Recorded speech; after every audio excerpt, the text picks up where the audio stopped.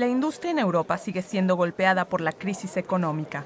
En esta ocasión, trabajadores de la automotriz estadounidense Ford en Bélgica no se esperaban la noticia.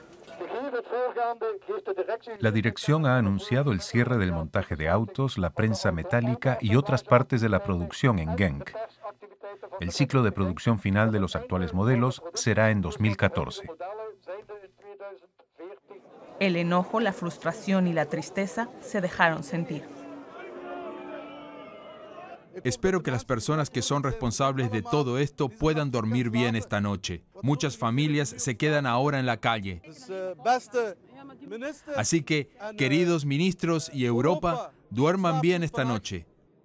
Nosotros no vamos a poder hacerlo.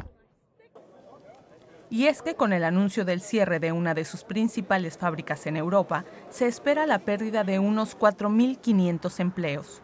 Pero los sindicatos aseguran que por lo menos otros 5.000 empleos relacionados se verán afectados. Las autoridades también lamentaron la noticia. Además aseguraron que harían un esfuerzo para encontrar soluciones a pesar de que parece una decisión ya tomada.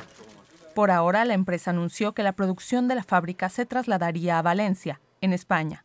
En los últimos años, la industria automotriz europea ha registrado una estrepitosa caída de ventas y parece hundirse a gran velocidad.